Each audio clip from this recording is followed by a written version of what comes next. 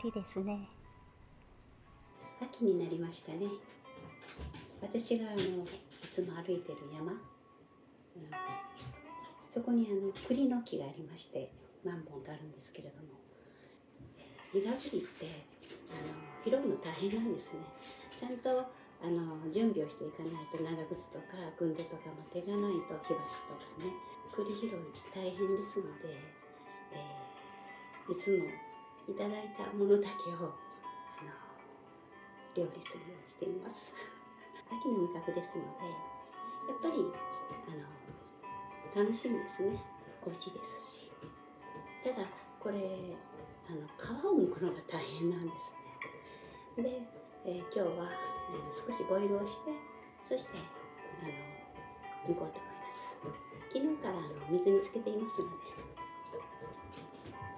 これ栗。栗だよ。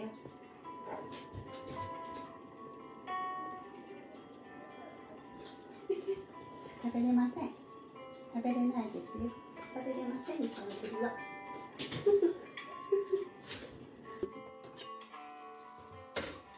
熱いよ。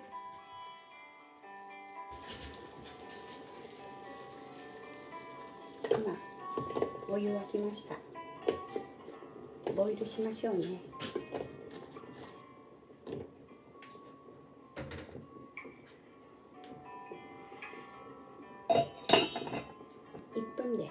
いいですので少しだけボイルします。とても硬いんですね。中のねあの汁のところがまださらに大変です。少しボイルをした方が柔らかくなるのでそれから剥きたいと思います。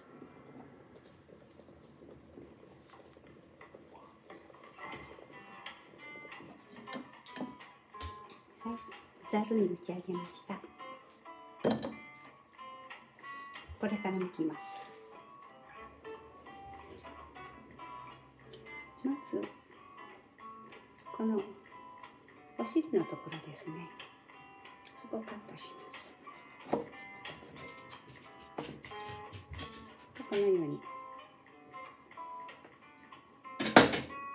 頭の方に向かって抜いていきます。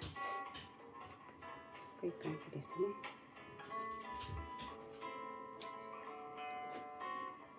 あの抜いていきます。この渋側のところですけれどもここは包丁で。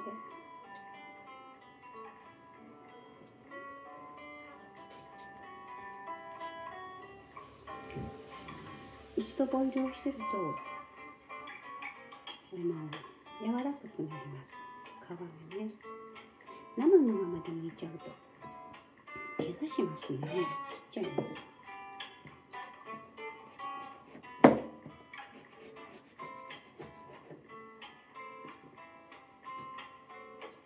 ういう感じですね。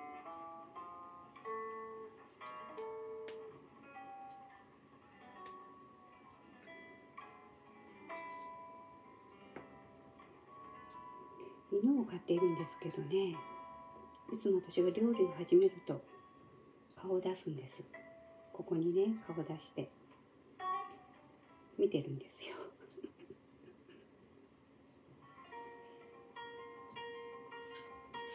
こんな感じで来るんです。またるさんそこで見てくれてるの？